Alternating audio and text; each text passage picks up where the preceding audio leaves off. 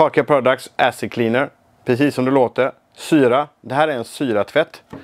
Eh, tänker man fordon så är det ju mest en fälttvätt så att säga då. Man kan även ta eh, eh järnoxid och sånt. Eh, den tar ju bort allting sånt. Har man en båt till exempel, allt det gula i botten på båten. Den tar allting. Det är aldrig något problem. Eh, fördel med den här också om du tvättar på fordon till exempel är att den tar även lite asfalt. Så att den här kommer i högkoncentrat. Eller i koncentrat kan man säga. Eh, normal spädning 1-4. Skulle du haft fälgar någonting som varit ute och kört i 5-10 år och aldrig tvättats.